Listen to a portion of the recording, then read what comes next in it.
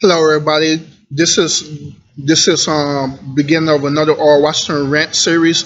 Um, the the title of this rant series is entitled "Broken Man, Broken Woman Equals a Broken Relationship," but only God can restore it. Once again, it's broken man, broken woman equals a broken relationship, but only God can restore it. And this on in this on particular rant, this rant is going to be different from any other rant that I ever did. This rant is going to be more of a um, more of a actual teaching rant. Um, and this rant, um, I'm, I'm so uh, adamant and so serious about this this particular rant that um, I'm also doing more more a more tradi- traditional method in order for in order to um, clarify to bring together what, what I'm talking about in this rant. So what I'm doing this time is that uh, instead of me just talking, uh, and I'm actually going to teach and and I actually have a foundation scripture too that I'm going to use in the Bible, in the Bible, in this rant.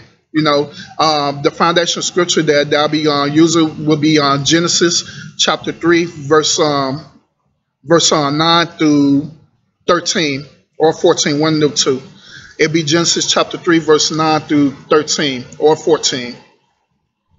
And so that's that's let y'all know how serious I am about this right now. Let us let us um let us let us pray real quick. Dear Heavenly Father, Lord, Father, we just ask that you just um be with me as I want to deliver this um rant series, Lord. Father, I just ask that you just give give me the uh, the wisdom and the insight to just really express this um rant um adequately, Lord, to where everybody could just understand the message that you're trying to portray, Lord. Father, Father one, it's my desire, Lord, to just um to be a be a um, a focal point, Lord, to just uh, allow people to uh, hear the message that need to be said and that need to be taught, Lord, and let people know that even though you um even though you're you're in, in a broken relationship, even though that you're you're broken as a man or even as a woman, that use the, the restoration, use the restore of that brokenness, Father. And Father, I just uh, thank you for your insight and your knowledge, Lord, and your teaching that, that you want to give to us, Father. Father, just thank you so much right now. Amen. So let, let us let us read Genesis chapter 3, verse Genesis chapter 3, we start at verse 9, and it says this And the Lord God called unto Adam and said unto him, Where art thou? And he said, I heard thy voice in the garden, and I was afraid because I was naked, and I hid myself. And he said, Who told thee that thou was naked? Hast thou eaten of the tree wherefore I commanded commanded thee that thou should not eat? And the man said, The woman who thou givest, gave us to be with, she gave me of the tree, and I did eat. And the woman and the Lord God said unto the woman, What is this? What is this that thou hast done? And the woman said, The serpent beguiled me, and I did eat. Now, uh, the, the reason why I'm using Genesis chapter 3 um, and actually use the Bible period for this particular rant is that um, I, want to use this as as a focal point, as a as a um as many people say a basis for for the um for for the one topic of a, a topical sermon or you know foundation scripture, whichever one, whichever part you want it to be. That's what it's going to be and stuff. And the thing I want to um, bring out is that first of all, what is it that I mean about a broken man, a broken woman equals broken relationships? Let me clarify myself about this. Um, in in um in many relationships and stuff, right? Many y'all y'all probably either dealing dealing with this now or you probably have previously dealt with this in your past and stuff. Is that um do you you being in a certain certain type of relationship and you put everything into the relationship you know you you put your your love your affection you put everything you want to put um um, your finance into it, you put every possible thing into this relationship and stuff, right? That ultimately what end up happening, what end up happening is that once when you put everything into it, you begin to have situations, you begin to have problems that test the relationship and stuff, right? There, what what end up happening is that um, if if the one if the two parties, the man and the woman, is not strong enough to be together, then ultimately their relationship is going to fail. It's going to fall apart. So, well, when I'm saying about this is that first of all, um, as a man and a woman, you you have to um, know that um, when you go into relationships, period of stuff is that it's so custom in our culture to bring what what is known as baggage into our relationship. But what I'm talking about by baggage, you, you know, that when, when I'm talking about baggage, I'm talking about the excess thing that you have. You, you know, when you go on a trip and you just um, pack a whole lot of clothes, uh, you you begin to pack all the necessity necessity stuff that you need in order, you know, in order to be um, in order to uh, survive in your travel. So you know wherever it is that you're going and stuff, you know.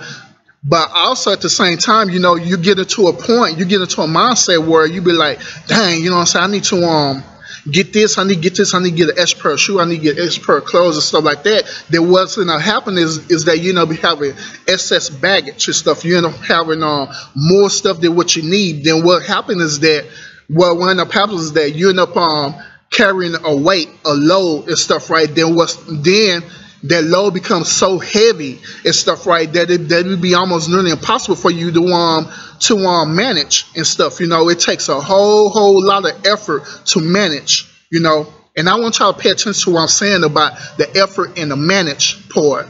That's what happens when you know you be in relationships and stuff. You bring all this baggage into the relationship is that it be so hard to manage, you know what I'm saying? And like the then then you have a person that cares about you and stuff, right? Whether it's man or woman, which I'm talking about both both foreign parties, by the way, the man and the woman, you know what I'm saying?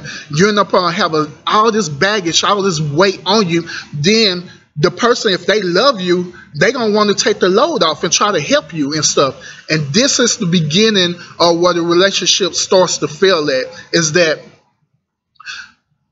you begin to you begin to rely on that person to take the load off for you and stuff. You know what I'm saying? Then what end up happening is that once when that person start getting to the process of taking that load off, for you, you you begin to say like, well, this is what they're supposed to do. If they love me, then they then they need to want to do this for me all the time. Instead of realizing that it is your responsibility to get rid of the load. Why is it your responsibility to get, rid of the load in the first place? Because you was the one who packed the load in the first place. You was the one who won't pack the bag up. You just you was the one who who add all the excess stuff into your baggage and stuff to begin with.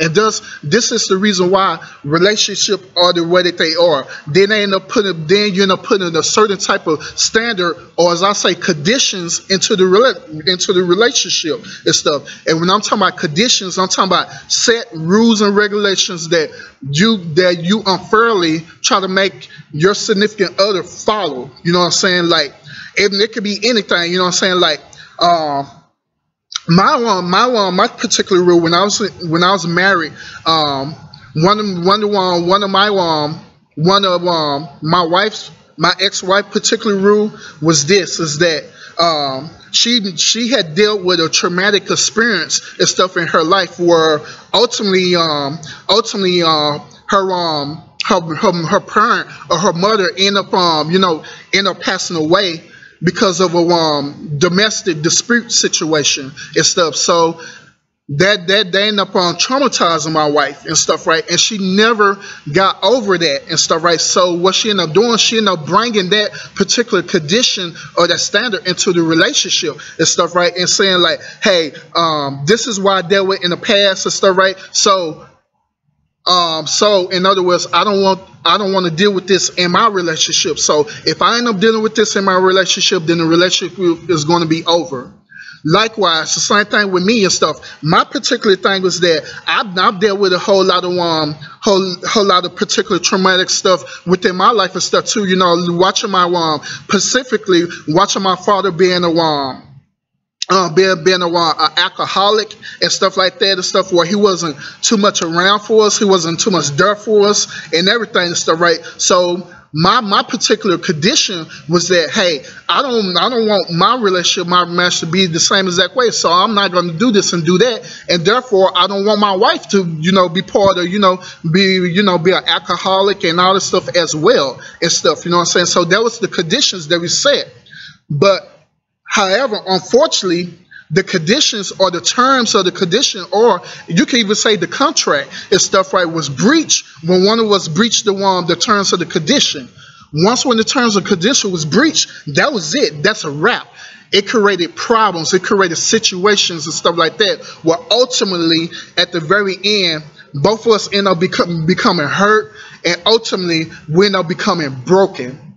And so, what, what I'm saying about this is that man and woman talking about both man and woman and stuff. When you get into when you enter into these relationships and stuff, right? You can you you cannot enter into these relationship being broken or having your baggage you know what I'm saying, as well. You know what I'm saying?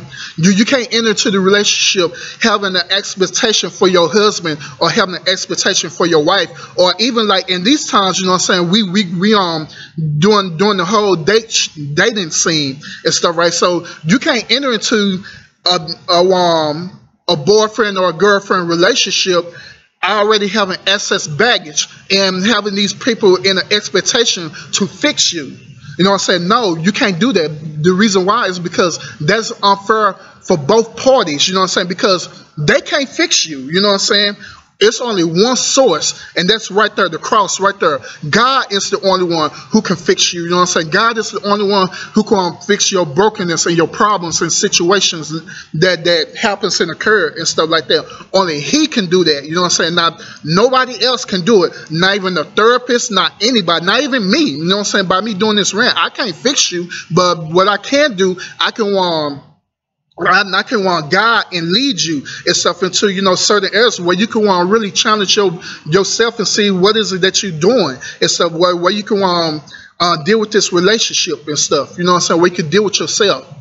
So uh, as, as I come to a close of this, and part two is coming coming soon, is that first of all, I want to I want to let y'all know that it's a whole lot of y'all out there that are broken and you want to enter into relationships and stuff, but you're broken, that, that you're so broken and stuff. And then when you enter into the relationship, you wonder why the relationship doesn't last long. It's because you're broken. You bring situations into the relationship and stuff instead of being instead of being real about instead of you know instead of first allowing God to work on you first. If you allow God to work on you and work on yourself, then the relationship is going to be successful. My time is up. Uh, like always, um, fight faith with faith. I love y'all, and I'll see see y'all soon. Peace.